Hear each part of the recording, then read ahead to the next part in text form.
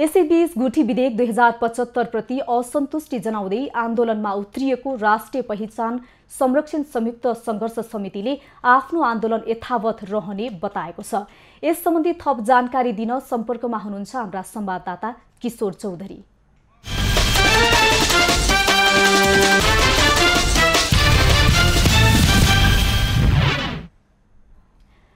किशोर जुन यो राष्ट्रिय पहिचान संरक्षण संयुक्त सङ्घर्ष समितिले चाहिँ आफ्नो आन्दोलन यथावत राख्ने भनेको छ। यसको बारेमा थप जानकारी गराउनुहोस्।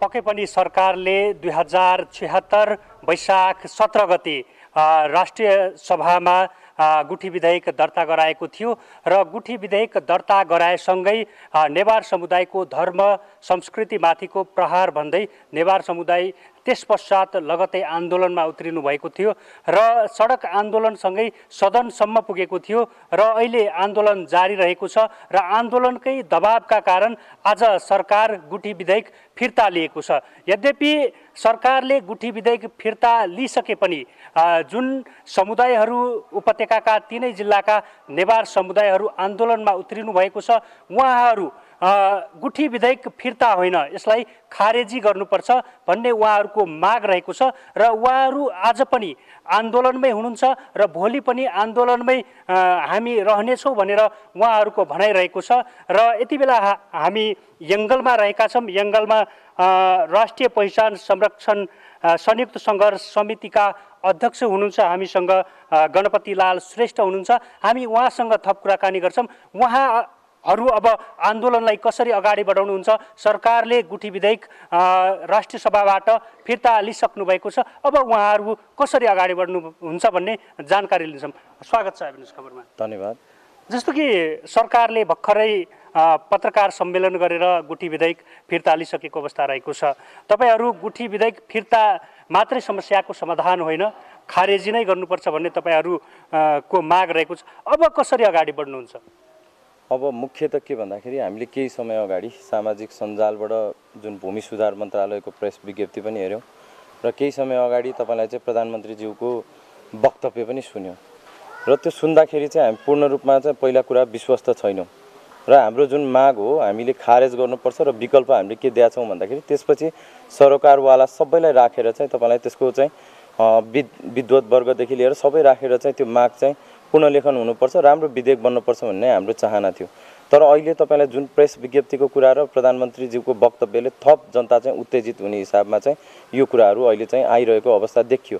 किन भन्दाखेरि जुन विज्ञप्तिमा तपाईँलाई जुन मर्म जुन जनताले स्वस्फूर्त रूपमा उठाएको थियो कि यो यो कारणले गर्दाखेरि चाहिँ यो गुठीको विधेयक खारेज खारेज हुनुपर्छ भनेर उठाउँदा उठाउँदै पनि त्यसमा लेखिएका कुराहरू झन् उत्तेजित बनाउने हिसाबमा भ्रम फैलाउने उत्तेजित बनाउने किसिमले आएकोले गर्दाखेरि यो विधेयक चाहिँ हाललाई फिर्ता लिएको छ भन्ने जुन शब्दहरू एकदम भ्रामित पार्नलाई हो। सरकार हल्लिएको छ जनता उठिसकेपछि सरकार हल्लिएको छ।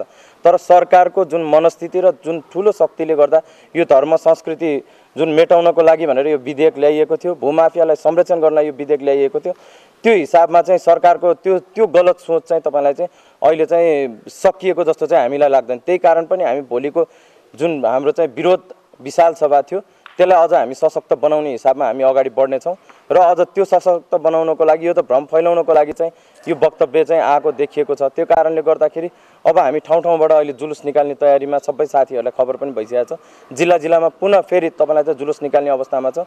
र म के भन्न चाहन्छु भन्दाखेरि त्यत्रो पदीय गरिमामा बसेर राष्ट्रको प्रधानमन्त्री जस्तो मान्छेले जथाभावी बोल्न पाइन्छ। घर घरबाट निस्किएको स्वस्फूर्त रूपमा हिँडेको जनता जसले चाहिँ यो गुठीको विधेयक भनेको तपाईँलाई नेवार समुदायको मात्र होइन यो सभ्यताको कुरा रह्यो तिन करोड नेपालीको पहिचानको कुरा रह्यो। त्यो कारणले गर्दाखेरि आज स्वस्फूर्त रूपमा चाहिँ सबैले एउटा शान्तिपूर्ण अभियानहरू अहिलेसम्म निकालिएको थियो। तर यो सरकारले नै के खोज्दैछ भन्दाखेरि तपाईँलाई द्वन्द निम्त्याउन खोज्दैछ। जस कारण चाहिँ यो वक्तव्यहरू जथाभावी रूपमा निकाल्ने जथाभावी जनतालाई आरोप लाउने के हामी जनता होइन? र उहाँले जुन किसिमले भनिरहनु भएको छ को जनता त? उहाँको कार्यकर्ता मात्र जनता हो कि हामी चाहिँ तपाईँलाई जनता हो? जनताले उठाइसकेपछि त्यसलाई त अलिकति मर्म बुझेर प्रधानमन्त्री जस्तो मान्छेले संवेदनशील भएर बोल्ने कि अझ उत्साह उयो उत्तेजना फैलाउने किसिमले बोलाउनु। त्यही भएर उहाँको जुन आएको वक्तव्यप्रति पनि आपत्ति प्रेस वक्त जुन प्रेस रिलिज अघि निकालेको छ भूमि सुधार मन्त्रालयबाट त्यसको कुरामा पनि हामी चाहिँ आपत्ति जनाउँदैछौँ। भोलि अझ हामी चाहिँ सशक्त रूपमा तर के भन्दाखेरि भद्र अवज्ञा गरेर हामी भोलि अन्तिम रूपमा शान्तिपूर्ण माइती घर मण्डलामा हामी सबै जम्मा हुन्छौँ नै। यो भ्रम फैलाउन खोजे कुरा हो त्यो कारणले गर्दाखेरि म सबैलाई के अनुरोध गर्न चाहन्छु भने यो भ्रममा नफैलाउनुहोस् नपर्नुहोस् कोही पनि। किन भन्दाखेरि सरकारले चिकित्सा विधेयक भन्नुहोस् हरेक विधेयकहरू जबरजस्ती लादेर तपाईँलाई चाहिँ रणनीति के भन्दाखेरि टुक्र्याउने रणनीतिमा गर्छ। र यहाँहरू सबै जनसमुदायले के बुझ्नुपर्छ भन्दाखेरि यो हाम्रो देशको पहिचानको लागि आज पोलेकोले गर्दाखेरि हामी सबै लडिरहेछौँ उठिरहेछौँ नारा लगाइरहेछौँ अभियान चलाइरहेछौँ। तर के भन्दाखेरि यो राज्य तपाईँलाई चाहिँ नसुन्ने हेपा प्रवृत्तिको सरकार रहेछ भन्ने हामीले चाहिँ कुरा बुझ्यौँ। किन भन्दाखेरि देशको धर्म संस्कृति सभ्यता भन्ने देशको पहिचान हो भने चाहिँ पहिचान बचाउने जिम्मेवार त्यो प्रधानमन्त्रीको चाहिँ होइन र अनि आज आएर त्यो प्रधानमन्त्रीले चाहिँ जुन किसिमले वक्तव्य दियो म घोर आपत्ति गर्छु र त्यसमा चाहिँ सक्नुहुन्छ भने कारवाही गरेर देखाउनुहोस्। जे जे कुरामा उहाँले अङ्कुश लाउन खोजेको छ सञ्चार विधेयकदेखि लिएर हरेक कुरामा म उहाँलाई च्यालेन्जै गर्छु। अब माइती घरको मण्डलामा भोलि विशाल सभा भएरै छोड्छ खबरदारी सभा भएरै छोड्छ यदि खारेज गर्नु भने उहाँको सिट पनि रहँदैन हामी उहाँको सत्ताको विरोध गरेर अगाडि बढ्छौँ। किन भन्दाखेरि जनताको लागि सेवा गर्छु भनेर त्यो पदमा पुग्या भने उहाँले जनताको मर्मै बुझ्दैन भने त्यो त्यो सिटमा बस्नको लागि उहाँलाई कुनै पनि अधिकार पनि छैन। त्यो कारणले गर्दाखेरि उहाँले अब राजीनामाको पनि माग समेत राखेर अब हामी चाहिँ भोलि तपाईँलाई सडकमा नि ओर्लिन्छौँ र हामी तपाईँलाई चाहिँ जो जो ज ज जुन जुन जनप्रतिनिधिले अहिलेसम्म यो गुठीको विधेयक खारेज गर्नुपर्छ भनेर एकमत दिएर स्वरु गरिरहनु भएको छ। म उहाँहरूलाई नै अनुरोध गर्न चाहन्छु कि अब चाहिँ प्रधानमन्त्रीदेखि लिएर सञ्चार मन्त्रीदेखि लिएर भूमि सुधार मन्त्रीदेखि लिएर गृहमन्त्री चारजनाको राजीनामा अब अत्यन्त जरुरी भइसकेको छ। अब हामी यो माग समेत पनि अगाडि राखेर गर्छौँ र हामी सबैलाई के भन्न चाहन्छौँ भन्दाखेरि हाम्रो माग एक सूत्रीय थियो खारेज हुनुपर्छ त्यसपछि आएर तपाईँलाई चाहिँ पूर्ण लेखन हुनुपर्छ। सरकारवाला सबैलाई राखेर भन्ने कुरा थियो। आजको विज्ञप्ति र प्रधानमन्त्रीको यो वक्तव्यले चाहिँ कुनै पनि कुरा चाहिँ क्लियर गरेको छैन। त्यही कारण भ्रमण नपर्नुहोस्। हामी भोलि एघार बजेदेखि दुई बजीसम्म विशाल खबरदारी सभा चाहिँ हामी त्यही ठाउँमा बस्छौँ र सबैजनालाई अझ सशक्त रूपमा अब चाहिँ जनता जाग्नै पर्ने स्थिति आइसकेको छ। किनभने हामीले धेरैको लागि लड्यौँ। जनताको नाममा राजनीतिक दलले धेरैलाई लडायो धेरै तन्त्रहरू ल्यायो। तर के भन्दाखेरि आज पहिचानको लागि आफ्नो देशको पहिचानको गरिमा बचाउनको लागि आफै अब उत्रिनु पर्ने दिन आछ यतिसम्म लाजमर्दो स्थिति हामीले देखेका थिएनौँ। प्रधानमन्त्री जस्तो मान्छेले यसरी चाहिँ वक्तव्य दिनु यो गलत हो। हस् धन्यवाद।